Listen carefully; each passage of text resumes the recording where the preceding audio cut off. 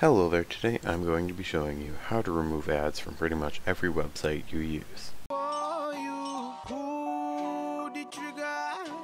Maybe you should pull the fucking trigger.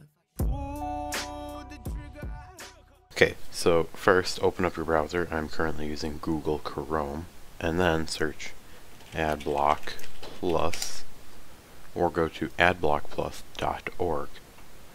So then it'll detect what browser you're using and if it didn't, you just click the browser down there.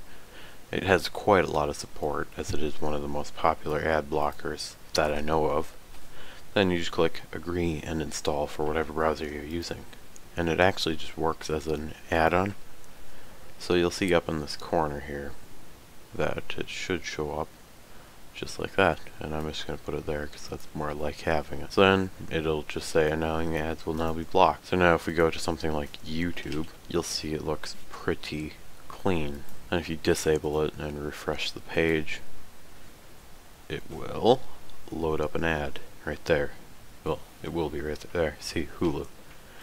Um, same with some websites um, like I think Forbes does it they demand you disable your ad blocker. So if a website does block ads or doesn't allow you to get to it um, because there's an ad blocker, then just click click on the thing or click on ad blocker and then click enable on this site and then it'll disable. Pretty simple. I personally run it on pretty much everything. It works pretty well as you will see. Okay, so I know that I'm not synthetic tech, you could have probably guessed that, but he's out of town and he needed a few videos made, so I decided, you know, why not help a guy out and make a few videos for him.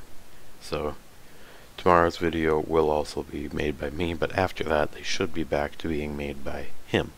So, thanks for watching. I'll see you next time. Goodbye.